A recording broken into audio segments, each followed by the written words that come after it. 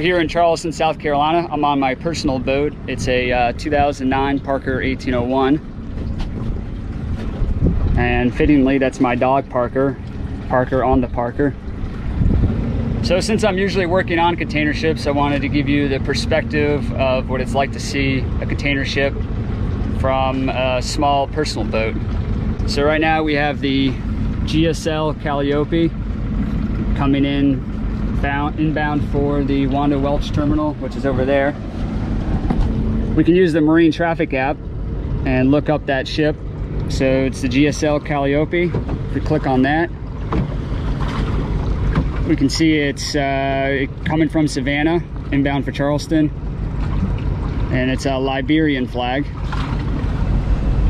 She'll be using two tugboats, one on the forward end, one on the aft end to help assist with the docking. All right, now we're anchored right near the terminal.